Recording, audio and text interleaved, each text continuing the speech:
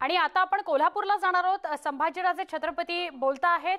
थेट प्रक्षेपण. मुद्दाम सांगायचंय की बारा बा- अकरा फेब्रुवारीला काय सोळा फेब्रुवारीला एकोणीसशे बावन्नला अस्पृश्य समाजाचं तिसरं अधिवेशन दिल्लीत झालं होतं. एका अधिवेशनला तर शाहू महाराज नागपूरला गेले होते.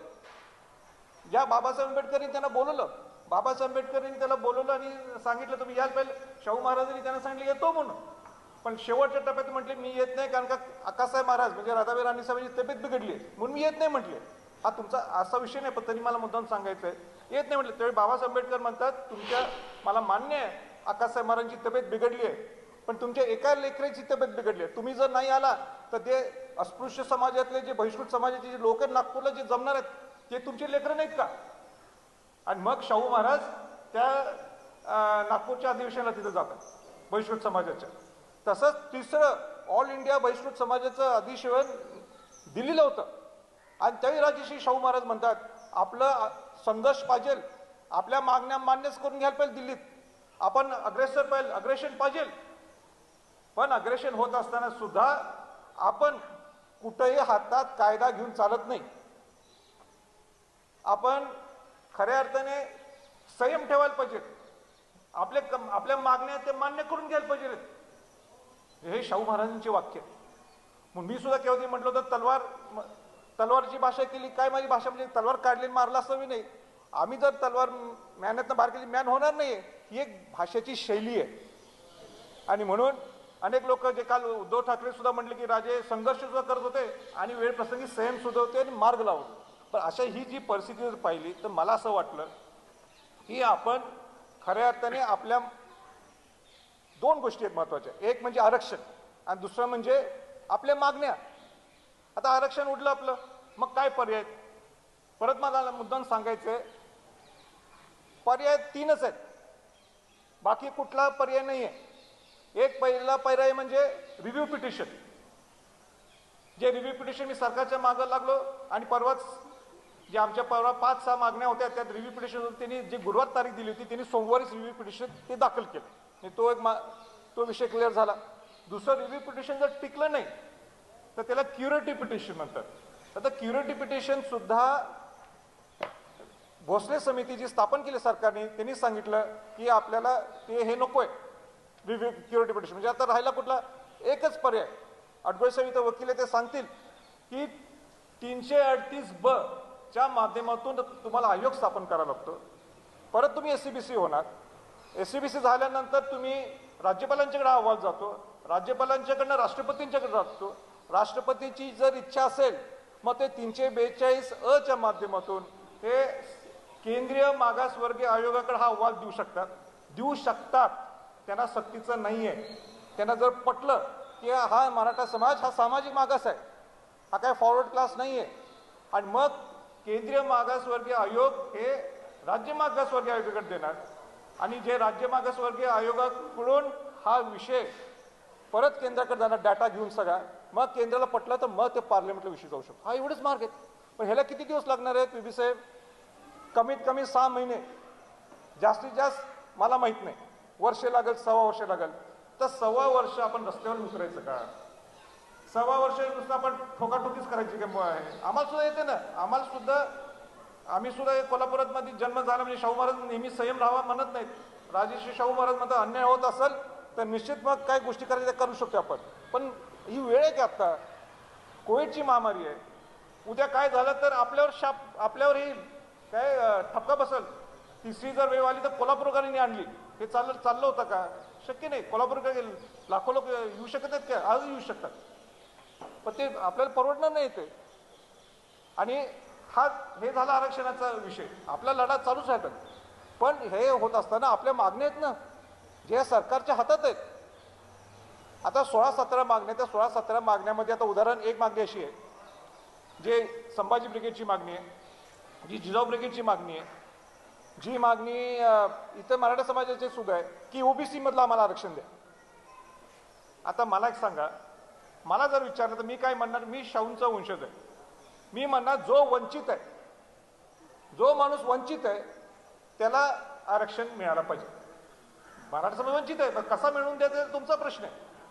आता ह्याचं उत्तर कोणी द्यायला पाहिजे आम्ही नाही द्यायचं. जे सरकारमधले बसणारे लोक आहेत आत्ताचे सुद्धा आणि मागचे सुद्धा ह्याच्यावर कोण बोलते का? कोण बोलणार नाही. आता ही मागणी जर आपण तिथं धरली असती मी मुंबईत हे ह्याच्यावर बोला तरच मी उठणार. हे उत्तरच देणार नाही मला माहिती आहे. मग आपण ती मागणी धरायची का आपण धरू? पण ती काही मेन मागणी तुमची होऊ शकत नाही या मिनिटाला. म्हणजे याचा अर्थ की आमच्या विरोध आहे नाही. त्यात मार्ग काढायला पाहिजे सत्ताधारी ज्यांनी ज्यांनी सत्ता भोगली आहे आज आज नाही. सत्तेत असतील आणि ते विरोधीच असतील. अनेक वर्ष. म्हणून त्यात आम्ही मार्ग काढला होता हा एस सी बी सीचा म्हणजे इतर ओबीसीला धक्का न लावता ओबीसीना धक्का न लावता आपण एस सी बी सीचं आरक्षण घेऊ. आपण सरकारने पटवून सांगायला पाहिजे त्या वकिलांनी पटवून सांगायला पाहिजे की आपल्याला अपवादात्मक परिस्थिती आहे. महाराष्ट्राची ही अप आपली अपवादात्मक परिस्थिती आहे मराठींची. जसं तामिळनाडूमध्ये. बाकीच्या राज्यात हे पन्नास टक्क्याच्या वर आरक्षण दिलं जातं. मग तुम्ही महाराष्ट्रात का देत नाही. आम्ही सुद्धा सामाजिक मागास आहोत. आता अनेक गोष्टी का घडलं नाही आहे? त्याच्यावर आता चर्चा करण्यात हे नाही कोण चुकलं आहे कोण बरोबर आहे. आता शेवटची लढाई ती तर लढू व्यवस्थित. त्याच्यासाठी आपण तयारीला लागू. अशा दृष्टिकोनातून हा एक तो आरक्षणाचा ह्याचा मुद्दा होता. दुसरा मला एक सांगायचं आम्ही माग ते मुद्दा मी सांगतो काय काय झाल्या सगळ्या गोष्टी. मुंबईच्या मीटिंगमध्ये तर इथून लगेच मुंबई मुख्यमंत्र्यांनी बोलवलं. आता अनेक लोकांचं म्हणणं होतं अरे दुसऱ्या दिवशीच कशाला जायचं? त्यावेळी बंटी पाटला मुश्रीफ म्हटलं आम्ही उद्याच्या उद्या मिटिंग येतो. मी म्हटलं उद्या नाही मी आम्ही परवा दिवशी येतो जमलंच तर का म्हटलं? कारण का सगळे सकल मराठा समाजाचे लोक म्हणत होते राज्यातले की आम्ही कुठं धुळ्यात नावलोय त्या अमरावतीवर नावलोय संभाजीनगरमध्ये आलो आहे. आम्हाला एक दिवस घरी जायला पाहिजे. पण मी सगळ्यांनी रिक्वेस्ट केली की सगळ्यांची इच्छा आहे विषय मार्गी लावायचा आहे. आणि म्हणून ते लगेच दुसऱ्या दिवशी गेलो. दुसऱ्या दिवशी गेल्यावर लगेच राजे मॅनेज झाले. अरे तर मॅनेजचा काय विषय? छत्रपती आहे मी. या घरात माझा जन्म झालाय छत्रपती घराण्यात. काय ते संस्कार आहेत ना आमच्या आमच्यावर? आम्ही काय मॅनेज होणार आहे? काय नुसतं कुठल्या ती पर्सनल अजेंडासाठी आमची काही जबाबदारी नाही का? मार्ग जर लागत असेल प्रश्न सोडत असतील मग कशाला थांबायचं दोन दिवस? आणि मग तिथे गेलो. तिने आम्ही सगळे सुरू केले जसं रिव्ह्यू पिटिशनचा पहिला विषय होता दुसरा विषय आम्ही काढला सारथीचा. सारथीवर दीड तास चर्चा झाली.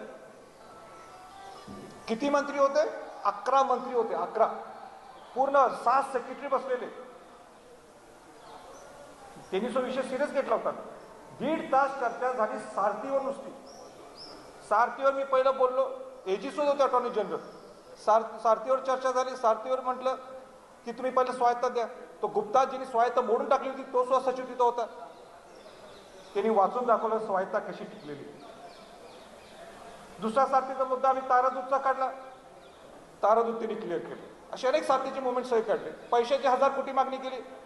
शेवटी त्यांना लक्षात आलं की हे सगळे अभ्यास करून आलेले त्यावेळी अजित पवारांनी सांगितलं मुख्यमंत्री म्हणजे अजितदादा तुमच्याकडे डिपार्टमेंट आहे.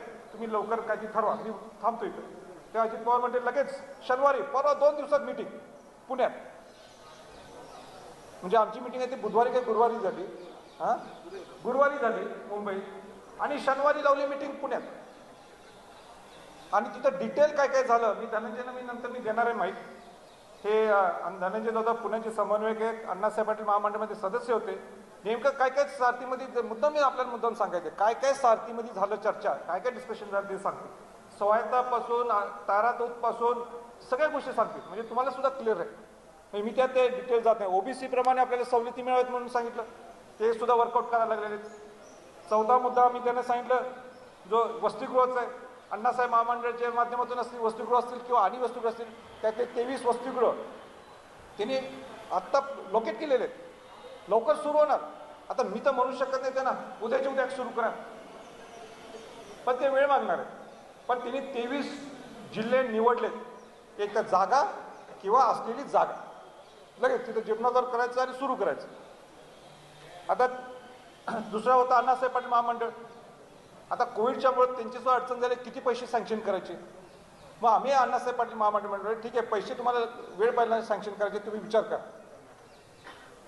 आणि सारथीचं विस मी विस- सांगायला की अजित पवारांनी सुद्धा सांगितलंय एकवीस दिवसानंतर जे आपण परत भेटायचं ठरलंय त्यावेळी एक मोठी अमाऊंट हे सारथीला देण्याचं त्यांनी कबूल केलं. आता तुम्ही एक समजून घ्यायला पाहिजे की मी जर परत बॅक बॅकवर आलो सारथीवर की समजा तिने आठशे कोटी दिली हजार कोटी रुपये दिली पण ते हजार रुपये खर्च व्हायला पाहिजे ना म्हणून जे पूर्वी माजी सचिव होते चीफ सचिव जे होते अजित मागेचे अध्यक्ष सारखेचे त्याला तिथल्या तिथं ताबडतोब सांगण्यात आलं की तुम्ही पैसे आमचे डिमांड करा. किती लागणार त्या वर्षी? उगाच काही हजार कोटी डिक्लेअर करून लोकांना फसवण्याचा पॉईंट नाही ना. ते हजार कोटी खर्च व्हायला पाहिजे. का नाही खर्च झाले ते पैसे परत जातात. परत दुसरी मागणी करा हो पुढच्या वर्षी. लोकांना फसवायचं नाही म्हटलं. मुलाला फसवायचं नाही. तर मग ठरलं की ह्या वीस एकवीस दिवसात किंवा या महिन्याभरात ते मागणी करण्यात आहे सरकारकडं बाबा आम्हाला या वर्षभरात साडेसातशे कोटी लागणार आहेत. नऊशे कोटी लागणार आहेत. हां का पाच हजार कोटी लागणार आहे दोन हजार कोटी लागणार आहेत. ते जे मागणी करतील त्याप्रमाणे सरकारने सांगितलं अजित पवारांनी की जे मागणी करतील राजे तेवढं देण्याची आमची जबाबदारी.